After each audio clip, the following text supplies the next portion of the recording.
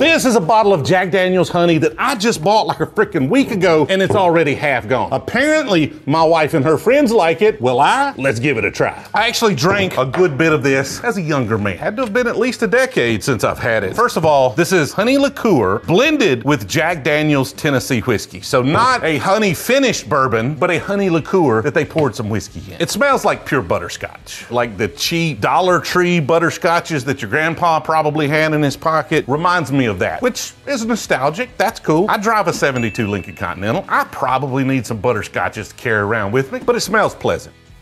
And I get a ton of butterscotch flavor. Like if they'd have just named this Jack Daniels butterscotch, I would have said absolutely, you nailed that. Probably not something I would sip neat, but it's not oversweet. I think if you had this in the freezer and you pulled it out cold and you poured it in a glass or you put it over ice, be a good time. Overall, not bad at all. Apparently we're speaking in poems. But is this the best honey whiskey you can get?